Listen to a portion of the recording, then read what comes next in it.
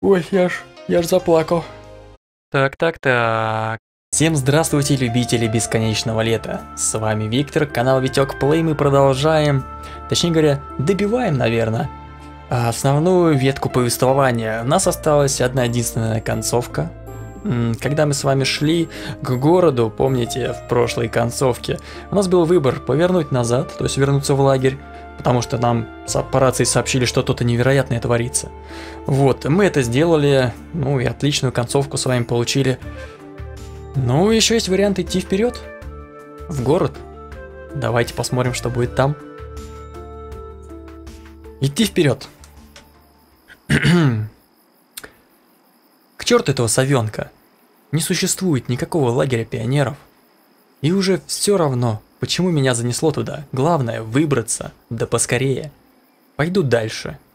Пожалуй плечами, стараясь показать максимальную незаинтересованность. Юля некоторое время внимательно смотрела на меня, но затем сделала несколько шагов вперед, словно приглашая следовать за ней. «Ну так ты идешь?» Кажется, впервые за весь день мы приблизились к городу хоть немножко – хотя бы на пару сотен метров. Я уже почти уверился в том, что мне наконец-таки суждено дойти до него, как вдруг сзади послышались гудки. К нам стремительно приближался автобус. Икарус, рассекая ночную темноту ярким светом фар. Я благоразумно отошел к обочине. Вот еще. Юли рядом не оказалось. И как только у нее получается так незаметно исчезать и появляться – ну, потому что наш плод твоего воображения, мы это в прошлой серии еще поняли. Автобус медленно остановился рядом со мной. Открылась дверь и... Из нее вышла Ольга Дмитриевна. Ах, вот оно куда они все делись в прошлой серии. Они, оказывается, сели в автобус и уехали. Семен, почему не вернулся? Я же тебя просила. Я о том же могу вас спросить. Вы говорили, что случилось что-то серьезное, а сами... Ладно. Внезапно смягчилась она. Залезай в автобус. Как? Что? А как же город? Вот мы и едем, чтобы узнать, что там происходит. Я колебался. С одной стороны, на автобусе действительно быстрее, а по этой дороге, похоже, до города все же можно добраться. С другой же, поведение вожатой выглядело странно.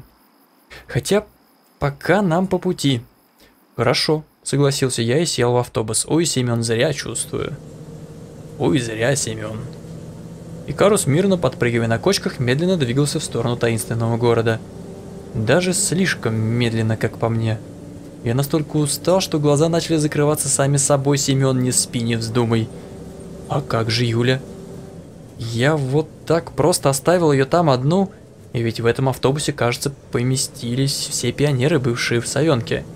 Может быть, она что-то хотела мне сказать?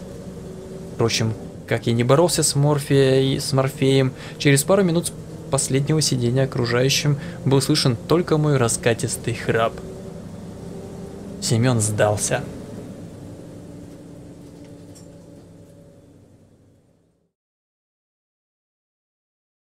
Надо было пешком идти, мне кажется.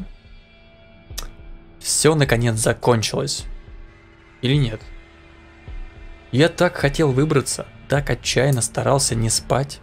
Неужели всему виной усталость? Нет, вряд ли.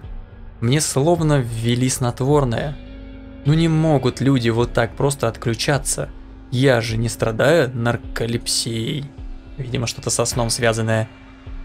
Мысли неслись быстро, спокойно, как широкая безбрежная река. Их полеты не мешали внешние раздражители, потому что я спал. Но в то же время, как будто бы находился в сознании. Вот сейчас открою глаза и... На меня смотрел облупившийся от старости потолок, большая продольная трещина разделяя, разделяла его надвое, грозясь обрушить все верхние этажи. Мирно, но натужно шумел кулер компьютера, в воздухе кружилось тысячи пылинок, даже красиво, словно в некоем подобии танца. А за окном заунывно выл ветер, облизывал заледеневшие стекла и уносился вдаль закручивая хоровод из снежинок. На мой мир весело подмигивая смотрела луна, яркая, по-зимнему холодная. В голове звенело, она была тяжелая, слегка кружилась, а во рту был мерзкий привкус, словно накануне съел пепельницу и запил бутылкой водки. Осознание пришло не сразу. Как будто я вчера собирался куда-то ехать, а потом... И мне снился странный сон про лето, про лагерь, про пионеров и вожатую, про странную девочку, кошку и далекий город. Я постоянно забываю конец своих снов. Так добрался до города или нет? Но подождите, точно ли это был сон? Ведь я провел в этом лагере почти неделю, однако часы были со мной не согласны. По их подсчетам прошло всего около 12 часов. Я сел на кровати и принялся вспоминать. Чувства и эмоции были по-настоящему живыми, но события этого сна словно заволокло дымкой. Я помнил девочек, помнил их слезы и улыбки, помнил радость и грусть, которые мы пережили вместе. Но вот лица и фигуры как будто скрывал сумрак. А еще какая-то шахта, бомбоубежище, а потом остров, потом отъезд. И эти чертовы кузнечки, которые мешают спать. И Славе, и Лена, и Алиса, и Ульяна, и Маша, и Юля. Но было что-то еще, что-то за пределами сна. Моя жизнь после. Словно на новом уровне существования. Да, ведь я много раз просыпался, встречал этих девочек наяву, а потом все сначала. О, -о, -о поперло, погодите. Такой огромный объем информации просто не укладывался у меня в голове, память была переполнена, каждую секунду что-то забывалось, я перестал понимать, что реально, а что нет. Все события в лагере слились в одну причудливую картину, как коллаж, составленный из работ сотен художников разных стилей. Обрывки чувств, тени эмоций, куски воспоминаний. Мою жизнь разорвали пополам и неумело сшили обратно, а в итоге получилось что-то вроде той увечной куклы, которую мы нашли с Ульянкой в старом лагере. Опа, отсылка к кукле. Подождите, или со Славей? И со Славией, и с Ульянкой ты ее находил? Перед глазами вдруг во всех подробностях пронесся точно тот ночной поход на поиски Шурика, но при этом я даже не мог вспомнить лица девочки, которая была со мной рядом тогда. Может, они все с тобой ходили? С каждой секундой сон становился все туманнее. Неужели вскоре он вообще забудется? Нет, не хочу, я должен помнить. Пусть даже без подробностей, пусть даже без лиц и, возможно, без имен. Ведь это не просто сон, я знаю, точно. Это нечто большее, нечто очень важное для меня. В голове начал звучать голос, как будто бы не мой, чужой. Сначала тихий и далекий, с каждой секундой он становился все громче, а вскоре я почти что смог разобрать слова. Но это были скорее мысли, в одном электрическом импульсе сосредоточилось больше, чем в тысячи книг. Я вспомнил, что во сне осталось какое-то незавершенное дело. Город? Но нет, до города я вроде бы добрался. Юля! Из глубин сознания всплыл образ девочки-кошки. Она грозно смотрела на меня и смешно шевелила ушами. То есть это был не сон? Неделя, проведенная в лагере, не сон? Я прошелся по комнате, выглянул в окно. Окружающий мир был все таким же, как обычно, как вчера. Еще немного, и я сойду с ума. Тишину моей квартиры нарушила противная трель дверного звонка. И кому только понадобилось в такой час. Слушайте, ему еще никогда никто не звонил в дверь. Сначала я не хотел открывать, даже испугался, но потом подумал, что это отличная возможность проверить, а не сон ли это. Это в смысле, где он сейчас. Ведь люди во сне и наяву – это две большие разницы. Вот сейчас открою дверь и узнаю.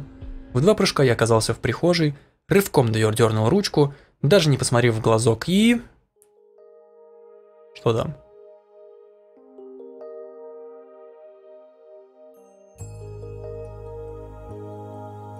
Охренеть. Да ладно, чё, правда? Ой, я ж, я ж заплакал.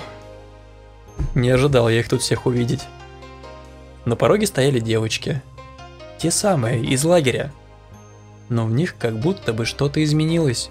Я не помнил во всех подробностях их внешность из сна, однако прическа Славе, другая, явно. И Ульянка словно стали, стала выше. На несколько секунд повисло тягостное молчание. Я просто застыл, мысли остановились, не было ни страха, никаких других чувств. А девочки как будто и не удивились вовсе. «Привет», — весело сказала Славя. «Ну что, стал как не родной?» — воскликнула Ульянка. «Как вы здесь?» Я с трудом подбирал слова, но вот составить из них осмысленный вопрос не получалось. Ведь столько всего хотелось узнать сразу. «Подождите, девочки, нельзя вот так человека пугать». И я тут же вспомнил Лену, нашу жизнь после лагеря, и Славю, тот разговор ночью на остановке, и Ульяну, нашу встречу в институте, и Алису на моем концерте, и даже Машу в другом мире. Но как? Да, пожалуй. Короче, начала Алиса Бойко. Ты не удивляйся. Так, для начала, думал, ты там один был? В Савенке. Да-да, в Савенке. Так вот, не один. И мы там были. Но как вы... Вы здесь вместе... Дело в том, что у каждой из нас был свой лагерь, а у тебя свой.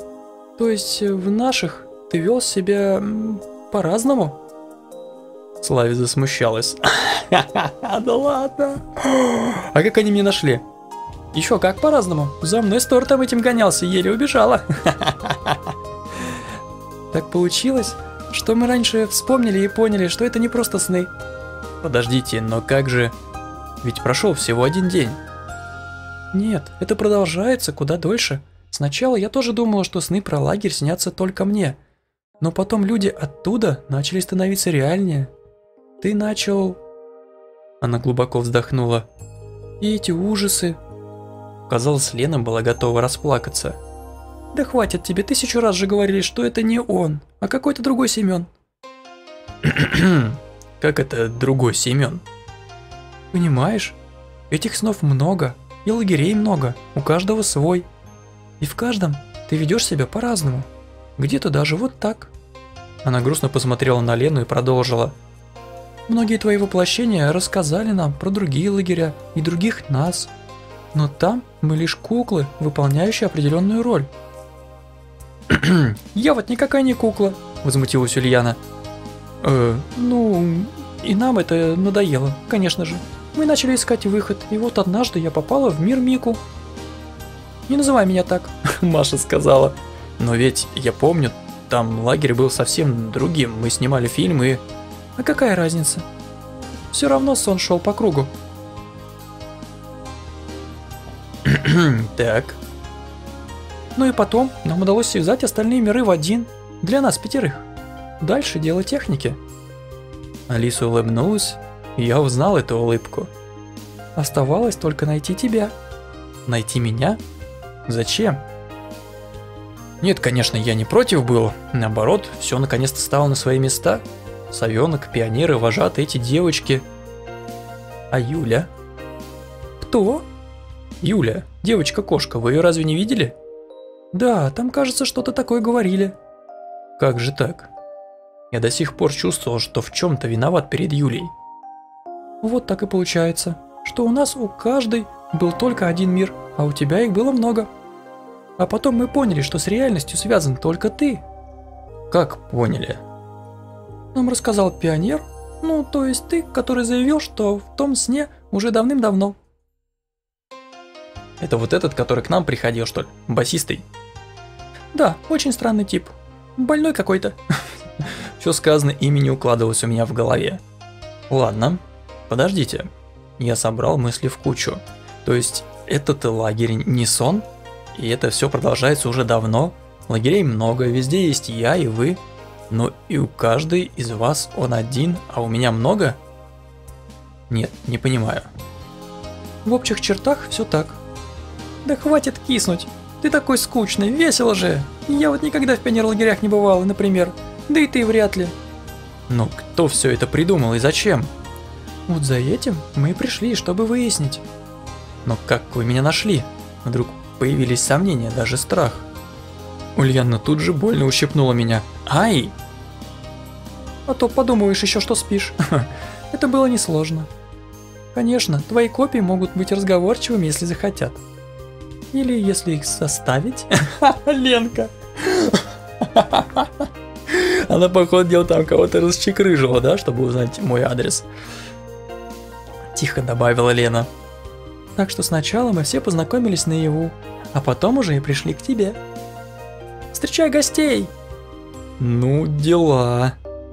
Моя жизнь изменилась в мгновение ока. Еще бы, прикиньте, парень просыпается, тут пять телок классных стоит на пороге, говорит, давай запускай. И с каждой из них он, ну кроме Ульянки, что-то успел сделать. Круто. Конечно, я не помнил этот сон или сны, как говорили девочки, в таких подробностях, но тоже чувствовал, что лагерь это нечто большее. Он объединил нас, сначала там, а теперь и здесь. Оставался лишь вопрос с Юлей. Но может быть я знал ответ? Может быть он просто забылся, как забылось и многое другое. Ладно, надеюсь вы мне расскажете все в деталях. Конечно. Мы за этим и пришли. Ну тогда проходите, что в дверях стоять-то? Чай, кофе, потанцуем, добавила я, стараясь успокоиться и прийти в себя. Лена сверкнула глазами. ну ладно, давайте танцы оставим на потом. Черт. Жесть, у Ленки, как обычно, наверное, за пазухой нож лежит. Маньячка.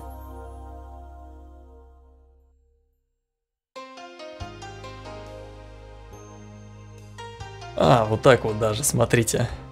У каждой истории есть начало и конец. У каждой истории есть свои там всякие заморочки. И нет такой книги, в которой при каждом новом прочтении открывались бы вещи, на которые раньше не обращал внимания. Но у каждой книги есть и своя последняя страница, перевернув которую, мы ставим книгу на полку, чтобы завтра открыть новую. Видите, здесь тоже концовка такая УГОшная.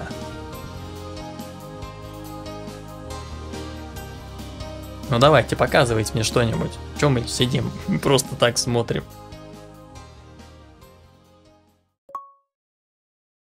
Гарем мастер 80 уровня. Гаремная концовка. Эх. Да, как и говорили, здесь совсем недолго было. Что сказать-то, что подумать? Даже в шоке я, если честно. Значит, они тоже там спят. В этом лагере. В некоторых лагерях... То есть в некоторых лагерях они были как роботы, да, типа выдуманные, а в некоторых они настоящие были. Или что? Я вообще правильно понимаю все это затею-то?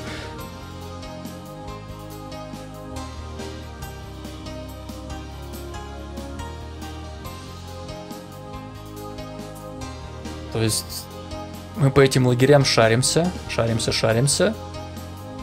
Нас много. Они тоже много раз. Там пересекались все. И приехали к нам в гости. Но опять-таки нам не говорят, почему это все происходит.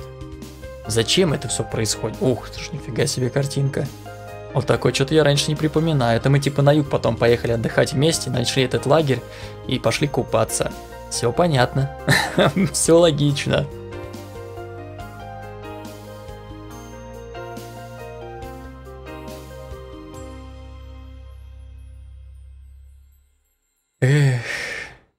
Ну что ж, ребята, игру можно считать пройденной вдоль и поперек. Ну, плохие концовки, как я уже говорил, я проходить, наверное, не буду. Потому что, в принципе, ну, все плохие концовки, которые отличаются от э, хороших, я прошел. Которые не отличаются, смысл показывать я не вижу. Потому что там будет все то же самое, что и в хорошей, только в конце нас не посещает девчонка. И все. Вот. Так вот. Ладно, игра пройдена, ребят. А что касается DLC, вы постоянно что-то спрашивали, будет или не будет я проходить допол дополнение и так далее и тому подобное. Э, смотрите, у нас есть официальное дополнение, там про историю одного пионера, это поражение, насколько я понимаю. Ее мы с вами пройдем, но не скоро, но не сразу. Может быть, сделаем перерыв, недельку или две. Вот, плюс есть еще один мод. Э, я встречал на просторах э, воркшопа. Вроде как говорится, что это неоконченная история Мику, которую тоже планировалось сделать э, с несколькими концовками, а не как вот э, ужастики они снимают, да? Именно реально полноценная история Мику, там до седьмого дня и так далее. Вот, вроде как это тоже именно от создателей этой игры, просто они то ли не успели, то ли не доработали эту концовку, то ли чего-то им не хватило, но там энтузиасты с поддержкой создателей все-таки добили эту концовку и тоже сделали в виде мода. Возможно, ее тоже, этот мод я пройду, но опять-таки, как я сказал, через большой такой промежуточный перерыв, потому что, ну, игр много хороших выходит, э, во все хочется поиграть. Э, я же не, не специалист по визуальным новеллам, ну, то есть, как бы, мне не нравится, если игра сама очень даже красивая. Но мне и другие игры тоже нравятся, вы не поймите меня превратно, я не собираюсь всю жизнь играть в одни новеллы. Так что давайте, делаем перерыв, ребят, довольно-таки солидный. Не нужно допоказать вам Лару Крофт, нужно отыграть в XCOM 2, скоро к Dying Light выходит DLC, который тоже очень хочется посмотреть и пройти, потому что игра-то ого-го классная. В общем, ну а после всего этого попробуем и рубанем DLC-шки. Всем всего хорошего, ребята. Надеюсь, вам понравилась эта игра. Это все глобальнейшее прохождение в 41 серию. Ставьте лайк, подписывайтесь на канал. Продолжение будет, еще раз говорю, но потом. Не ждите сразу. До встречи в следующей серии и в других прохождениях. С вами, как обычно, был Виктор. Пока-пока. Держи пятюня от Витюня.